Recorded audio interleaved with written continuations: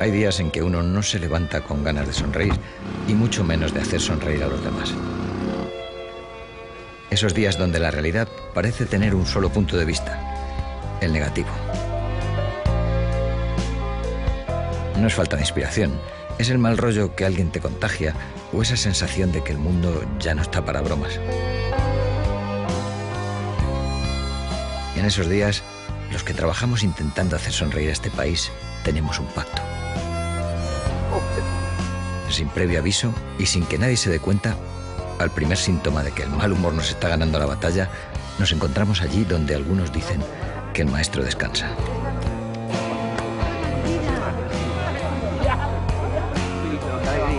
Nos damos ánimos.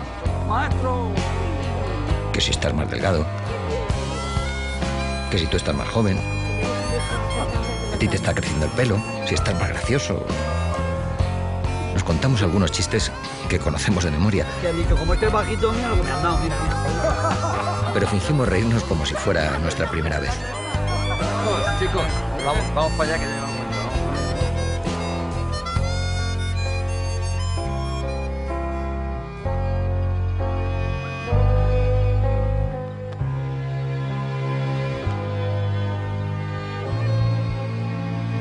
Y así pasamos el rato, hasta que finalmente alguien hace la pregunta.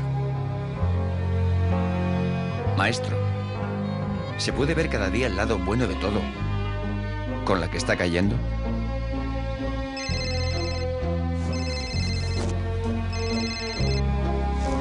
Sí, dígame. ¿Es el enemigo?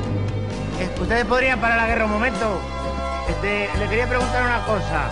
¿Ustedes van a avanzar mañana? ¿A qué hora? A las 7 estamos todos acostados. ¿Y no podrían avanzar por la tarde? Después del fútbol. Sí, van a venir muchos. Qué bestias.